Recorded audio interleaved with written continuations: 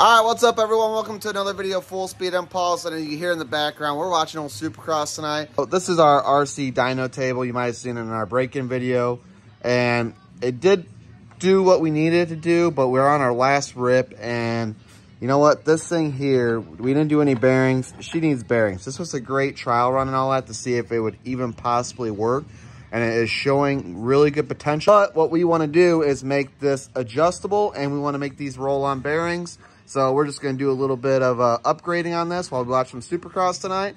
And uh, we're going to get at this thing.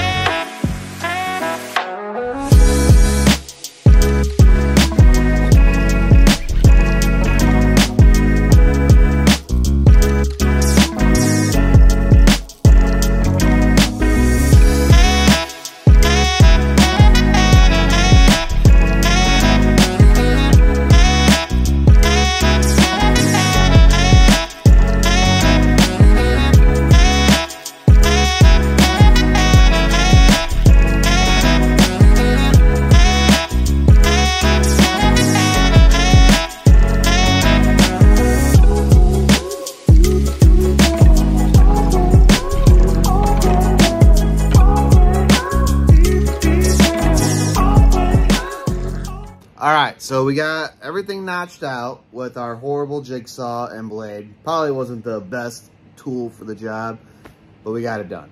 So now we're gonna work on getting our bearings set up on our bolts and all that. And last time when we tried mocking the bearings in, it was super tight. And we actually had to heat the pipe up to get the bearing to even squeeze in there. We're wondering now, maybe after it's worn on that bolt a little bit, maybe the bearing is gonna slide in a little bit nicer wishful thinking, maybe. But uh, yeah, we're gonna give it a try. All right, and then the other issue we have to make sure is not an issue is to make sure that the length or the width or whatever is the right size. Because when we're on the bolts, there's a little bit of slop back and forth, but I don't think we're gonna have that leeway as much now with the bearing setup and all that. Um, so we may have to shorten uh, our boards just a little bit and bring them in uh, as far as our width. So we're gonna see what happens, but we gotta get some bearings set up first and then we'll get at it.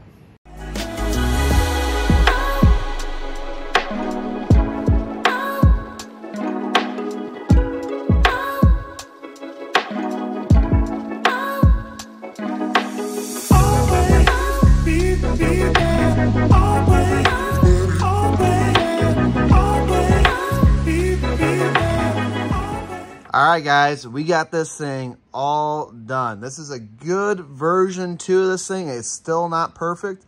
We're still learning. Our bolts could have been a little bit longer. We had to take the washers out, and that's why these are kind of sinking in a little bit, which does offer grip so these don't slide. It shouldn't be an issue because we don't have to tighten them down too crazy. Bearings are in. They honestly don't spin as freely as I thought it would, but it does do pretty well. Um, we had to put a strap up here. We already did a little test run.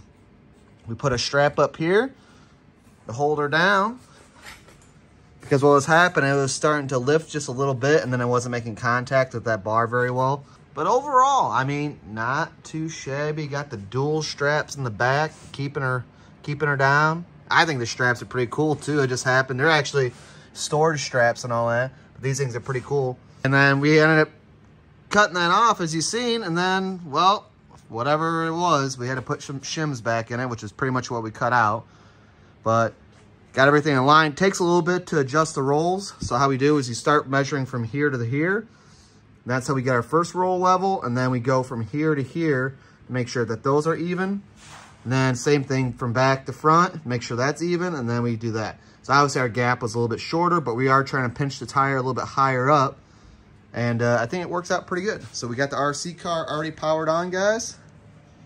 And we're to give her a rip.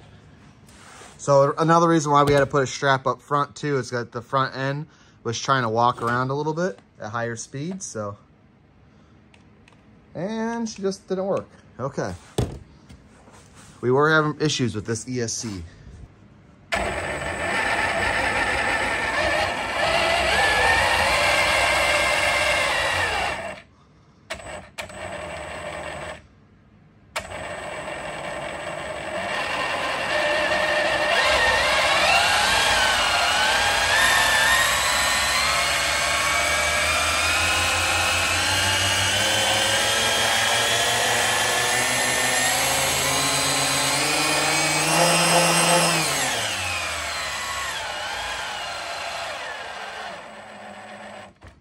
How cool is that? Works pretty darn good, I have to say. Like, especially it running up on this one um, spindle like that, that allows it to spin so easy. So that is perfect. And nice thing about these too, they're Velcro and adjustable and all that. So if we need to tighten it down a little bit, we can. And it's, man, it's awesome. We are on our last break-in on our Nitro car. So this will be at the very end of our video as far as on the very full throttle break-in, which will be just pretty fun with that thing.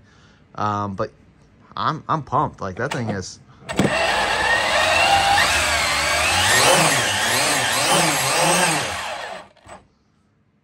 Yeah, buddy. All right, everyone, but that is our dyno break-in table. This is what we built this for, is to break in our nitro cars and all that, if this is the first time you've seen this video. All right, but that video will be being released very soon on us breaking in our nitro Losi and all that, and I am pumped now to do that final break-in. It is going to be so cool on this, but you could take this table and do so many other things. Maybe it's us going to be, you know, tuning our nitro car in now. Instead of having to rip it up and down the road and all that, trying to get that fine tune. Now we're going to be able to rip it right here on the table and get that thing dialed in on top end. It's going to be sweet. But I appreciate you guys watching all that. And until next time, we'll see you later.